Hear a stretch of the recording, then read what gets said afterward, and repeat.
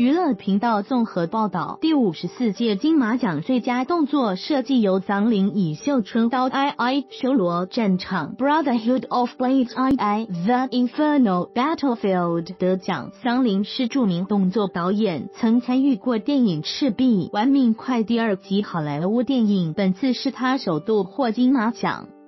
桑林上台表示，入围第五十一届金马奖与第五十四届金马奖两次电影节风格截然不同，直呼这次有家的感觉。他提到从未想过会获奖，上次入围准备三天三夜的得奖感言，最后未得奖，但这次毫无准备参加金马奖竟获奖，感性的说这就是金马特殊之处，并感谢张震说你做得很好，很优秀，我们心里对你是最好的。你是我们心里的最佳，并感谢所有台前幕后创作人员及金马奖评委、主席。